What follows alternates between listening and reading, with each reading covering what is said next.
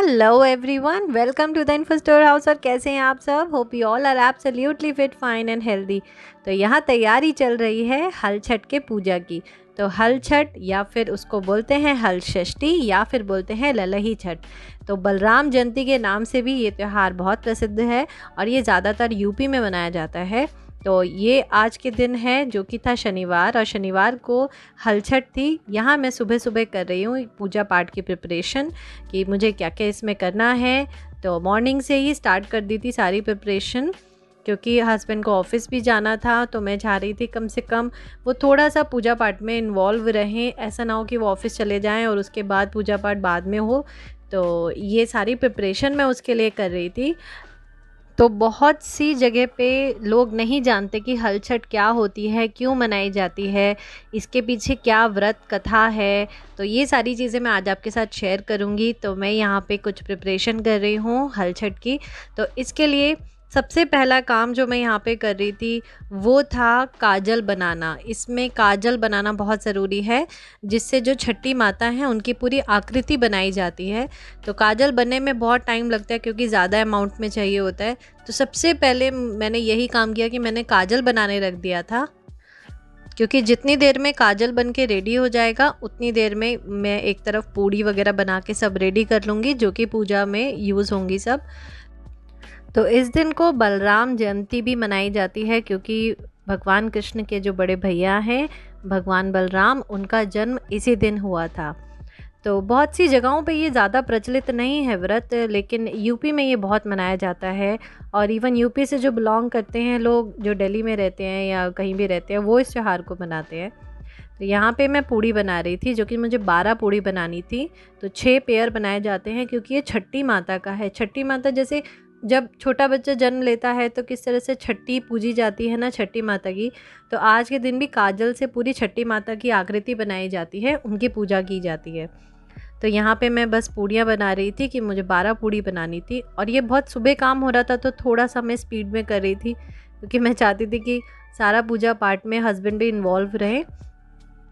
तो जो भी पूड़ी बनाई, सब कुछ बनाया, ये सब जो भैंस का दूध होता है, उससे बना घी और उसी से बना हुआ दही और भैंस का दूध मतलब यही चीज़ें इस्तेमाल होती हैं।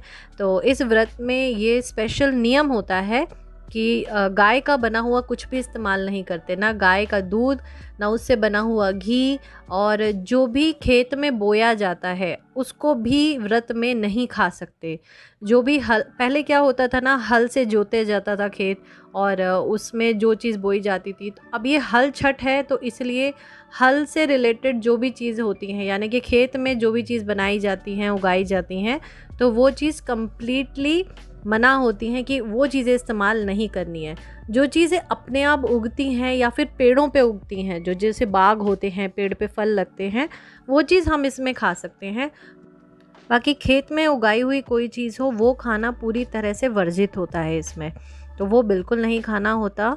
तो यहाँ पे मैं थोड़ी मिट्टी एक कटोरे में लेके आई थी, जिसमें जो दूरबा होती है जो घास होती है, उसको लगाना था और इसमें थोड़ा अर्घ दिया जाता है। तो बस यहाँ उसी की कुछ प्रिपरेशन चल रही है।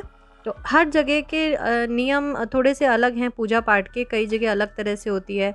अभी अगर मैं ससुराल में होती अपने तो वहाँ बहुत ही विधि विधान से होती है। यहाँ पर मुझे जितना समझ में आता है मैं उतना खुद से कर लेती हूँ। मुझे आ, क्योंकि मैंने अब तक अपने सामने होती हुई नहीं देखी है पूजा की अब सामने फ्रंट में बैठ के कि किस तरह से सारी प्रिपरेशंस हो रही हैं किस तरह से चित्र बनाए जाते हैं किस तरह से तैयारियाँ की जाती हैं वो सब मैंने आज तक नहीं देखी। तो जितना मैंने बातों में सुना है मतलब जिस तरह से मेरी मदर इन लॉ ने मुझे बताया तो मैं उस तरह से उतनी तैयारी करके रख लेती हूँ और उसी तरह से मैं पूजा कर लेती हूँ।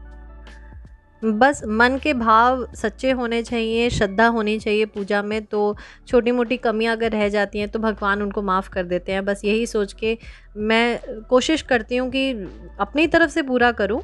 बाकी जितना मुझे समझाया जाता है, उतना मैं कंप्लीट कर देती हूँ। तो यहाँ पे ऑलमोस्ट रेडी हो गई थी। यहाँ पे हल्दी का मैं मिक्सचर बना रही थी क्योंकि जो मेरा बेटा है ना, उसके लिए एक नई बनियान लाई थी तो उस पर हल्दी का थापा लगता है और वो बनियान वो उस दिन पहनता है।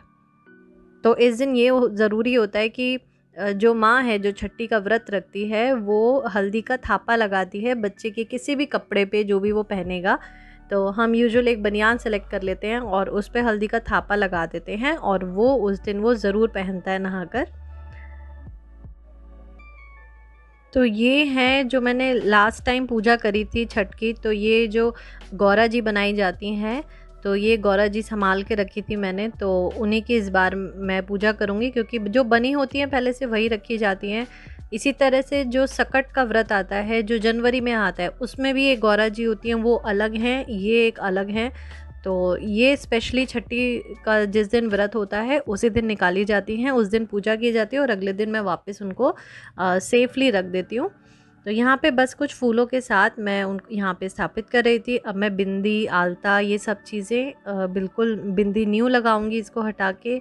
और आलता लगाऊँगी। जो थोड़ा बहुत श्रृंगार का सामान है, जो गौरा माता को चढ़ाया जाता है, वो सब चढ़ाकर इस तरह से मैं पूजा करूँगी इसमें।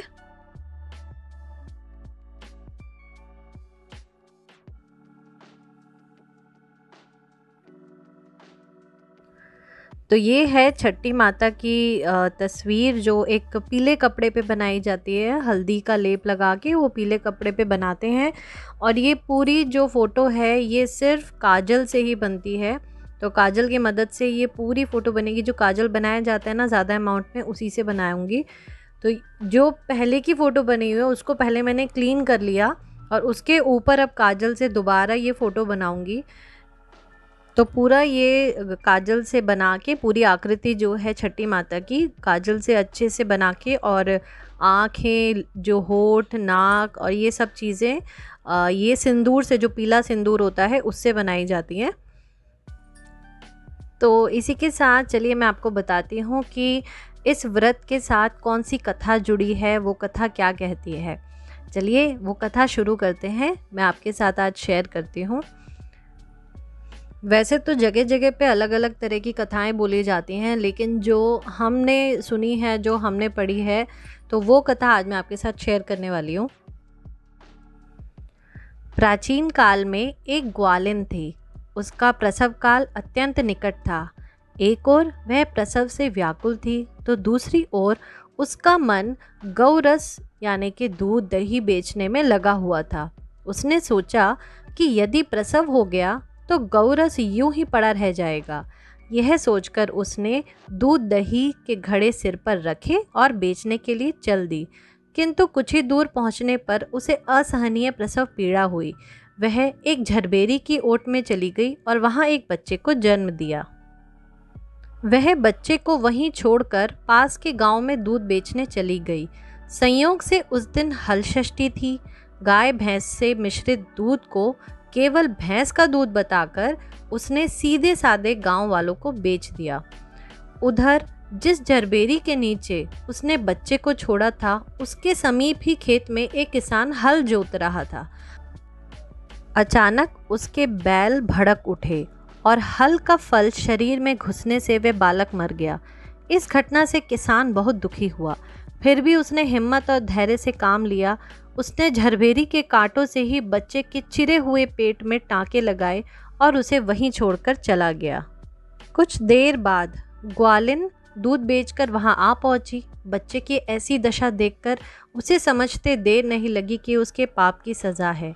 वह सोचने लगी कि यदि मैंने झूठ बोलकर गाय का दूध ना बेचा होता और गाँव की स्त्रियों का धर्म भ्रष्ट ना किया होता तो मेरे बच्चे की यह दशा ना होती। अतः मुझे लौटकर सब बातें गाँव वालों को बताकर प्रायश्चित करना चाहिए। ऐसा निश्चय कर वह उस गाँव में पहुँची जहाँ उसने दूध दही बेचा था। वह गली गली घूमकर अपनी करतूत और उसके फल स्वरूप मिले दंड का बखान करने लगी। तब स्त्रियों ने स्वधर्म रक्षार्थ और उस पर रहम खाकर उसे क्षमा कर दिया और आशीर्वाद दिया। बहुत सी स्त्रियों द्वारा आशीर्वाद लेकर जब वह पुनः झरवेरी के नीचे पहुँची तो यह देखकर आश्चर्यचकित रह गई कि वहाँ उसका पुत्र जीवित अवस्था में पड़ा है।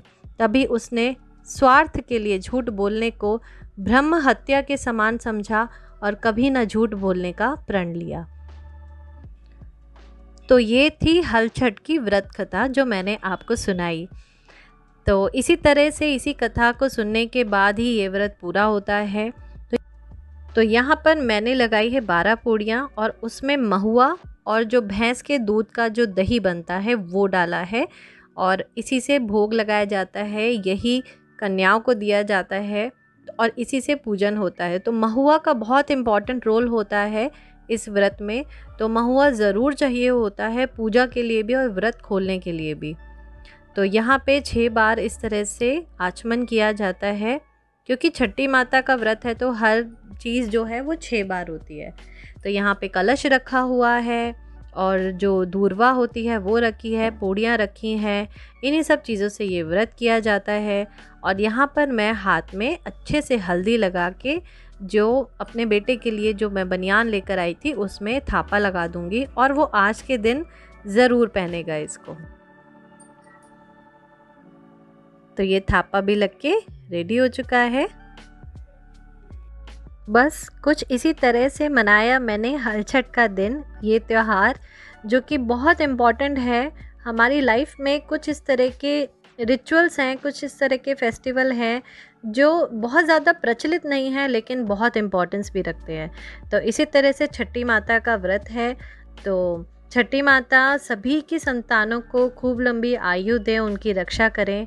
बस इसी प्रार्थना के साथ ये व्रत मैंने आज पूरा करा और मैंने सोचा आपके साथ मैं शेयर करती हूँ आज का दिन कि किस तरह से ये व्रत मनाया जाता है, कौन से विधि विधान होते हैं और अपनी समझ से जितना बताया गया, अपनी समझ से जो कर पाई वो मैंने करा। श्रद्धा भक्ति से भरपूर व्रत किया है। तो ये वीडियो आपको कैसी लगी कमेंट सेक्शन में ज़रूर बताइएगा। आशा करती हूँ ये वीडियो आपको पसंद आए, ये व्रत के बारे में जो मैंने आज आपके साथ इन्फॉर्मेशन शेयर करी। Hope you like this video तो यहाँ मैंने अपने बेटे को नहला के वो बनियान पहनाई, उसके बाद उसने हाथ जोड़े, यहाँ पे प्रणाम करा माता को। तो ये जो पूड़ियाँ रखी थी, वो पूड़ी मांग रहा था यहाँ पे कि मुझे ये चाहिए।